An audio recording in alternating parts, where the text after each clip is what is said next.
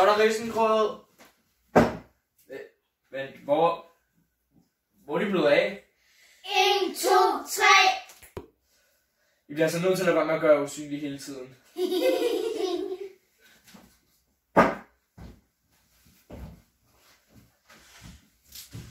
Nå, men så er der spise.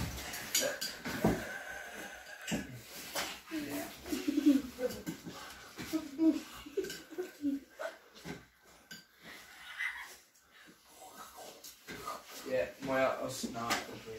Øhm.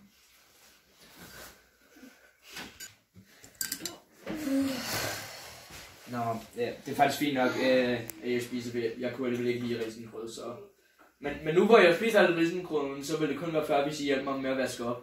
1, 2, 3. Ah, ja, det- er næsten forventet. De er jo trods alt nisser. Nå.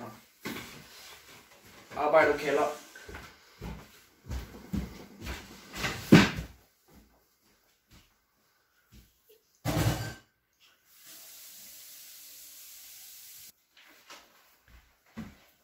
Skal jeg vel bare på, at jeg skal danse juletræet og åbne alle de her gaver alene. Gaver. 1, 2, 3. Nå, okay, så det er sådan, det fungerer. Så når der er gaver, så kommer I frem, og vi skal danse juletræet. Men når I så skal vaske op, så, så forsvinder I.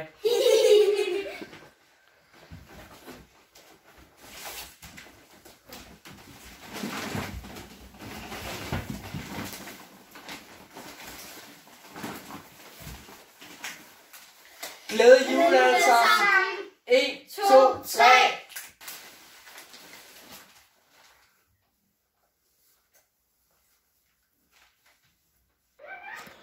Det var det for den her, øh, hvad, hvad kan vi kalde det? Jeg kalder den adventskalender. Øh, fire afsnit, det har været helt vildt hyggeligt at arbejde sammen med min far, som var kameramand, og mine søskende, som har været de tre nisser, og mig, som var hovedpersonen. Ja, øh, det har været helt vildt hyggeligt at lave den her adventskalender, og jeg håber, at det er en tradition, jeg vil føre frem i min senere, øh, øh, i min senere over min julekalender. Øh, eller på min YouTube-kanal, sorry.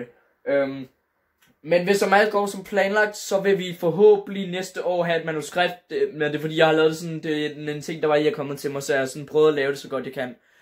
Men øh, det er basically det for den her video. Vi ses alle sammen, og have en rigtig, rigtig god jul, hvis ikke vi ses inden øh, den 24.